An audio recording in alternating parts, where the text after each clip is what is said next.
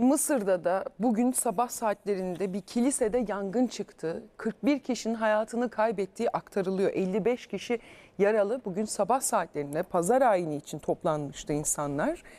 İmbaba kentinde Ebu Seyf'in kilisesinde o sırada yangın meydana geldi. 5000'e yakın kişi bulunuyordu o esnada kilisede böyle söyleniyor.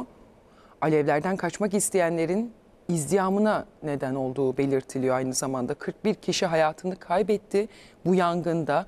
Yaralanan 55 kişi ise çevre hastanelere kaldırıldı. Mısır Sağlık Bakanlığı yaralılar için hastanelere kan bağışı yapılması çağrısında bulundu. Yangının elektrik kontağından çıktığı tahmin ediliyor şu an için ama araştırmalar da devam ediyor.